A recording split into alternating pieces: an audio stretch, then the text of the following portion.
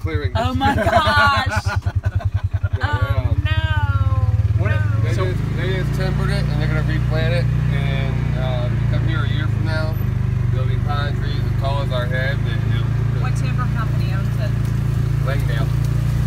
They don't own it. They they have timber rights to it. Got it. The people that own it just became millionaires. My hairdresser owns ten um, Oh my pine gosh. trees down here. Oh my gosh, look at this. Come on, Patches, or whatever your name is. Peaches. Peaches. I named the dog Georgia.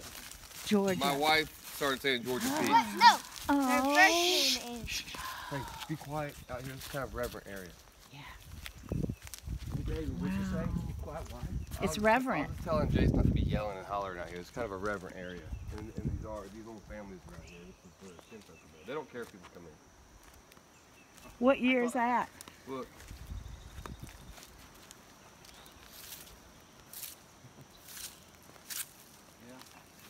What's the, the year? Eight- 1882 to 1902. Wow. Hope we don't find Nick again. Now these little markers.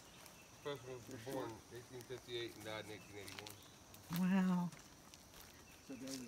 So David, I, I- I guess maybe my, uh, my father probably, or I probably would have told my son, uh, you know, be quiet because he's waiting to wait for dad.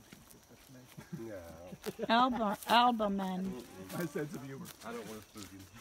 He'll never come back here again. Peaches. I, I, and I did tell you what happened with, uh, Look at Donna's butt. Uh oh.